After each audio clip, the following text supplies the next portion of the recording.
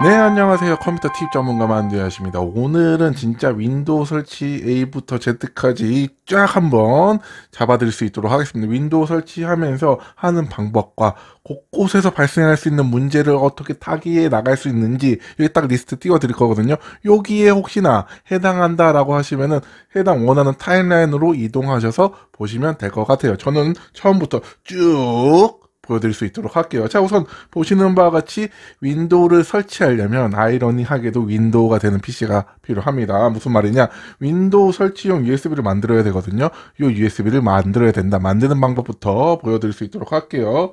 자, 우선은 USB를 여기다 PC에다가 꼽아줍니다. 꼽아주고 우선은 여기 인터넷 창을 열어요. 네, 인터넷 창을 열고 데이터 없이 시작.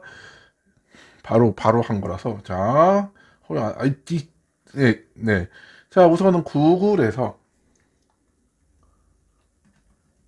그냥 윈도우 11 다운로드를 검색합니다.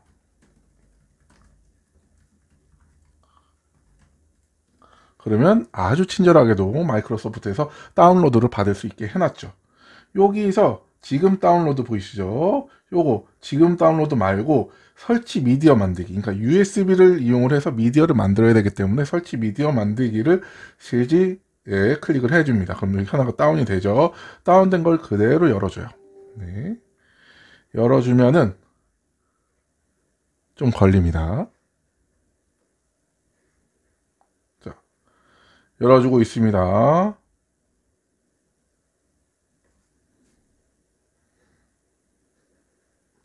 자, 여기서 이제 동의, 당연히 동의해야 되고요.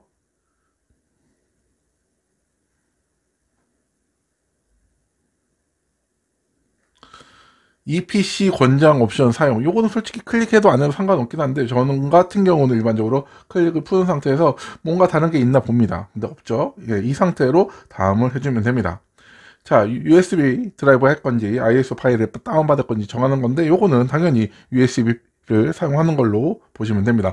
아, 참고로 USB가 아주 아주 종종 부팅을 지원 안 하는 케이스도 있어요. 만약에 그래서 부팅이 좀 안 된다 하시면은 다른 USB 쓰시는 걸 추천드립니다. 자, 이 드라이브 요거 있죠. 다음 눌러 주시고요. 참고로 USB 안에 있던 자료들은 다 날라갑니다. 그렇기 때문에 그건 좀 주의해서 어, 백업해야 되는 자료가 있으면 잘 백업을 해 두시길 바래요. 자, 이제 진행률 윈도우가 윈도우 설치를 할 때 필요한 USB 드라이브를 만들고 있는 거고요. 조금만 기다려 볼게요.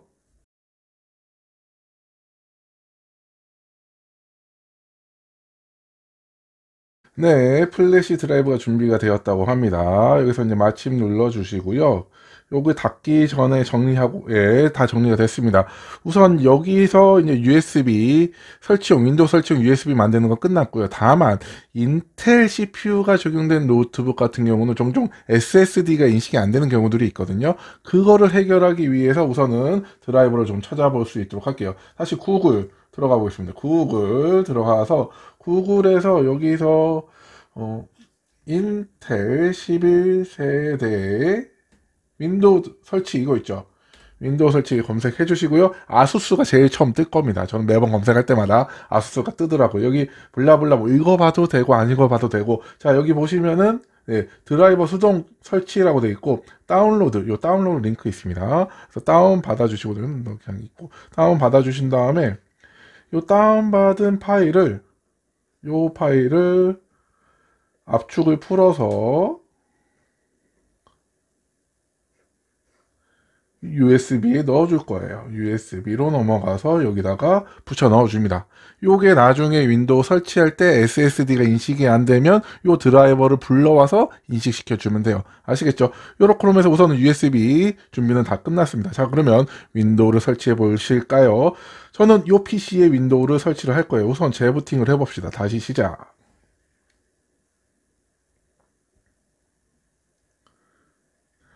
자, 재부팅, 재부팅 할때 CMOS로 넘어갈 수 있는 키를 열심히 눌러봅니다.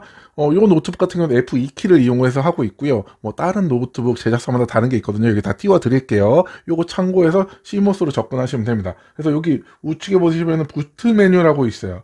부트 메뉴, 요 부트 메뉴 F8 요거 클릭해서 아, 나 요 USB로 해줘. 위에 있는 윈도우 부트 매니저는 SSD를 얘기를 하는 거고요.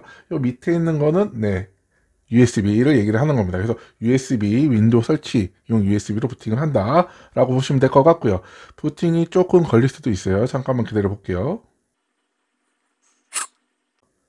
자, 윈도우에 설치하는 화면이 떴죠. 어, 일반적으로 저는 지금 마우스를 깔아놨기 때문에 마우스를 꼽아놨기 때문에 마우스 이렇게 보이는데 마우스가 안 보이는 경우도 있어요. 마우스 안 보이는 경우 어떻게 설치하는지 보여드릴게요. 우선은 기본적으로 요 탭키 있죠. 탭키를 누르면은 이동을 합니다. 이동하는 거 보이시죠? 탭키를 눌러서 원하는 위치로 이동을 해서 엔터를 눌러줄 거예요. 자, 다시 돌아와서 탭, 탭, 탭, 탭, 다음. 다음으로 넘어갔죠. 다음. 하고 다시 탭 눌러보면 지금 설치랑 복구 이렇게 있습니다. 지금 설치.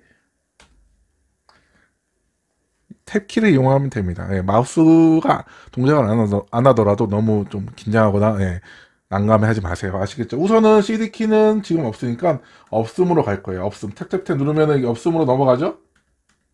탭탭탭. 네, 없음으로 넘어가고.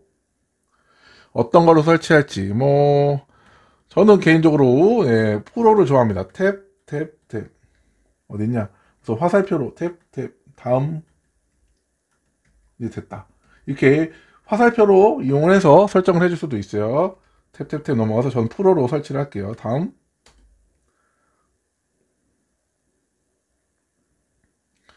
여기 이제 여기 체크를 해줘야 되는데 체크하는 거는 스페이스바입니다. 스페이스바 이렇게 봐서 스페이스바를 누르면은 체크가 되는 거 보이시죠? 네, 이런 상태에서 다시 탭을 눌러서 다음으로 넘어가고 야 여기서 옵션은 일반적으로 노트북을 받으면 깡통으로 받을 거예요. 그래서 업그레이드가 아니라 사용자 지정으로 넘어갈 수 있도록 합니다. 사용자 지정으로. 기존에 윈도우가 있으면 업그레이드 할 수 있는데 제가 봤을 때는 그런 경우는 없을 거예요. 그리고 자 여기서 보시면 우선은 저는 윈도우가 기존에 깔려 있었던 상태다 보니까 파티션이 좀 나눠져 있는데 요거를 없애는 작업을 좀 할 수 있도록 하겠습니다. 삭제 삭제 삭제 삭제.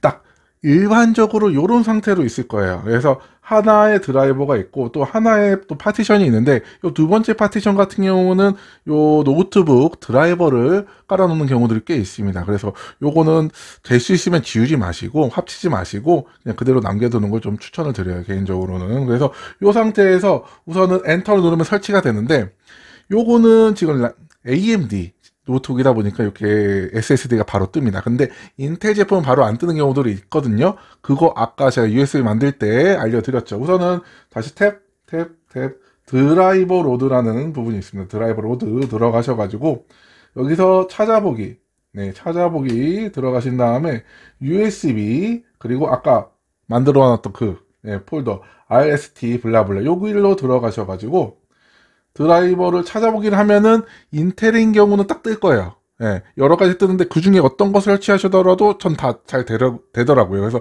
이런 방식으로 설치를 하시면 됩니다. 그래서 숨기기 말고 이렇게, 네.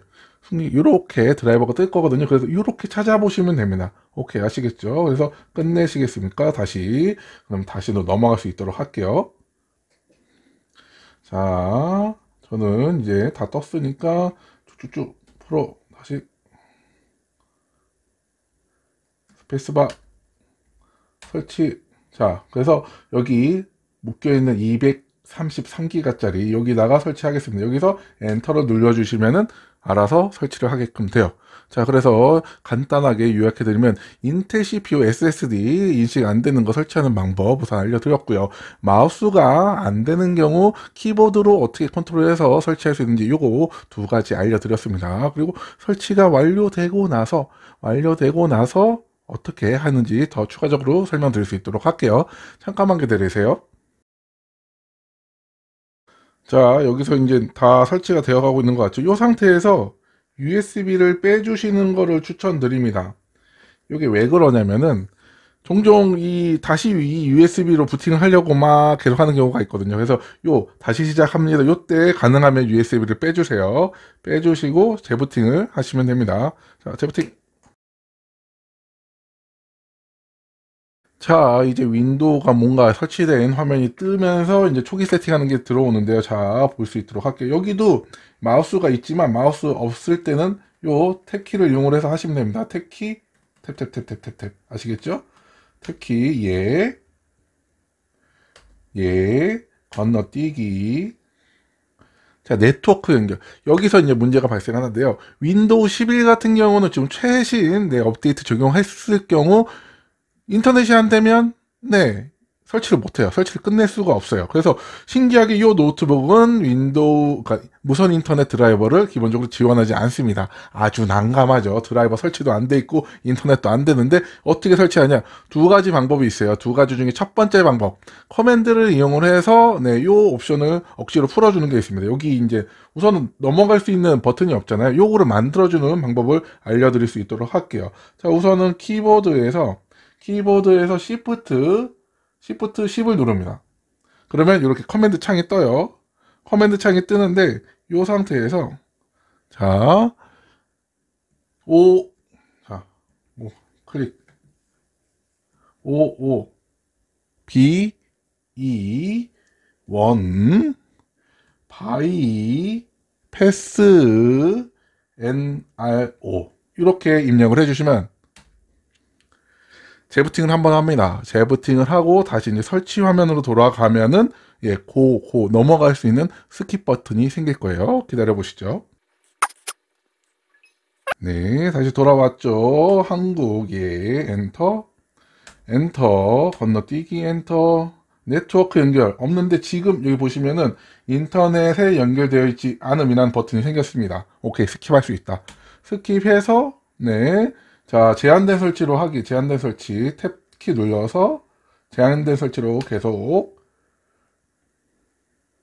장치 누가 사용할 건가요? 그냥 원하시는 PC 이름 사용하시고요. 저는 PC 암호, 암호는 원하시면 넣으시고 저 같은 경우는 안 넣습니다. 네, 요렇게, 요렇게, 요렇게 이거는 뭐 개인이 원하는 대로 하시면 돼요. 읽어 보시고 저 같은 경우는 그냥 다 예 하거든요. 네, 개인정보 흘리는 게 싫으면 no 누르시면 되고요. 오케이 아시겠죠? 자 이렇게 해서 우선은 네 설치가 넘어가는 걸 알 수 있죠. 요게 command를 이용을 해서 인터넷 연결 유무를 이제 우회할 수 있는 방법이고요. 다른 방법을 알려드릴 수 있도록 할게요. 자 다시 돌아왔습니다. 네트워크 연결해야 되는데 무선 인터넷이 안 뜨죠. 무선 랜 드라이버가 설치 안 됐기 때문이에요. 다만 요거를 조금 손쉽게 우회할 수 있는 방법이 있는데 제가 저는 솔직히 이 방법을 더 좋아합니다. 아주 간편하게 요 안드로이드 핸드폰을 이용한 방법이에요. 안드로이드 핸드폰을 USB 케이블로 노트북과 연결을 해줍니다. 지금 보시는 것 같이 여기 꼽혀 있는 거 보이시죠? 허용 눌러서 연결을 해주시고 테더링을 이용하시면 돼요. 테더링 어떻게 이용하는지 보여드릴게요.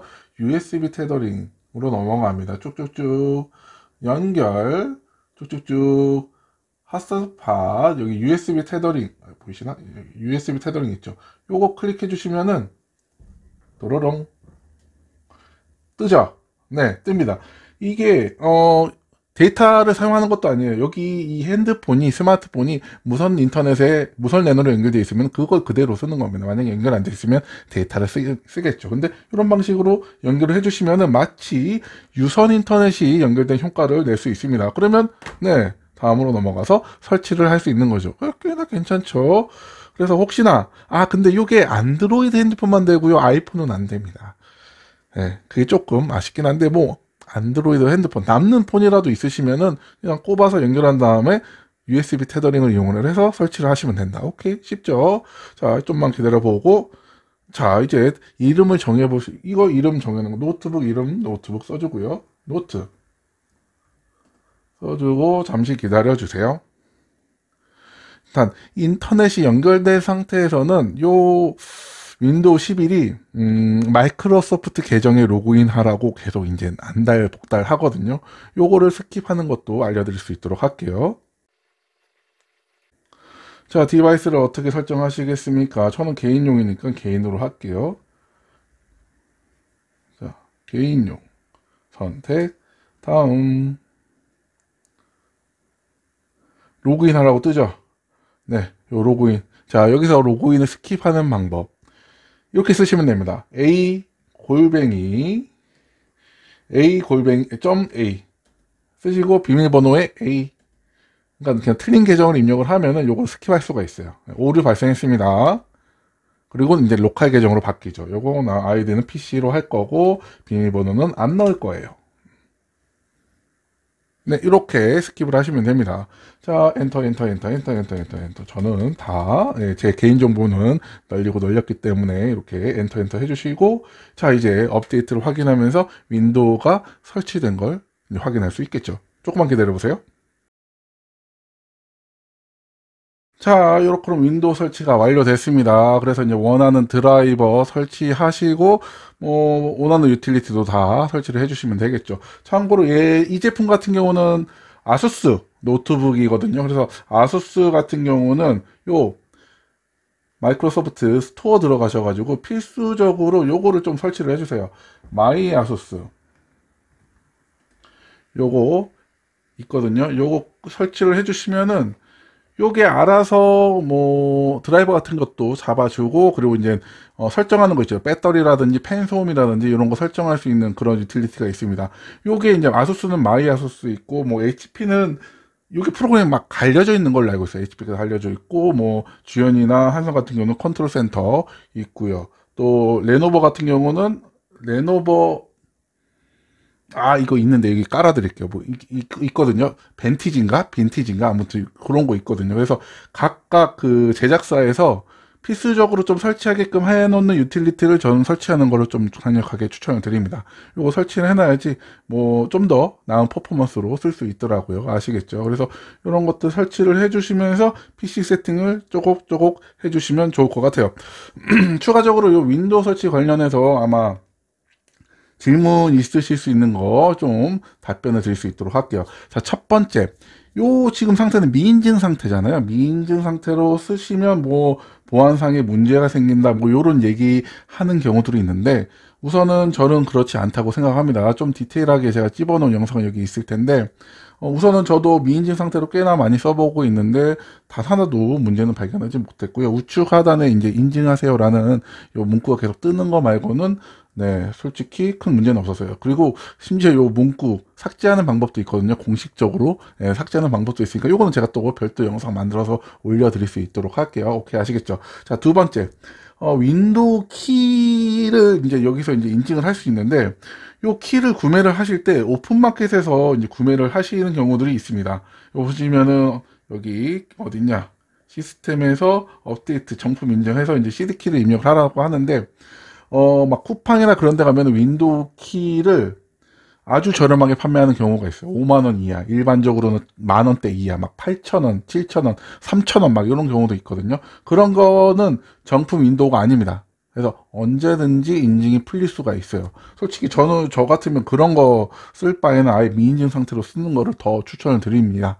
예. 예, 그게 어떻게 보면은 MS에서 열어놓은 방식이거든요. MS에서 지금 무료로 설치해서 쓸 수 있게끔 다 해놓은 거잖아요. 다만 미인증 상태로 뭐 제한 사항들이 좀 있어요. 뭐 스킨을 못 바꾼다든지 좀 이렇게 이쁘장한 테마를 못 바꾼다든지 그런 게 있긴 있는데 그런 게 큰 문제가 안 된다면 차라리 미인증 상태로 쓰시는 걸 좀 추천을 드리고요. 참 웃기죠. 유튜버가 미인증 상태로.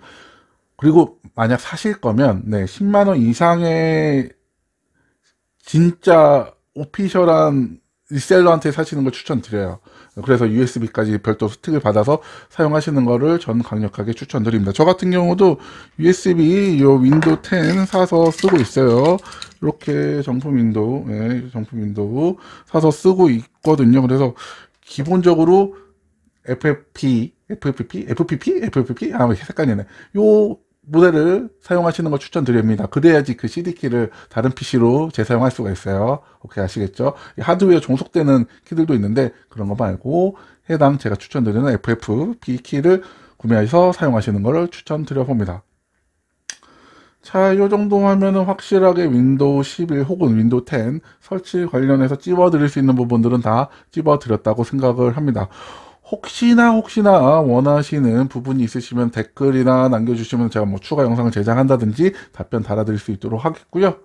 오늘 영상도 여러분이 현명한 노트북 생활 하시는데 도움이 되었으면 좋을 것 같습니다. 좋아요, 구독 사랑 있고요. 그럼 남은 하루 행복하시고 이상 만드셨습니다. 그럼 뿅!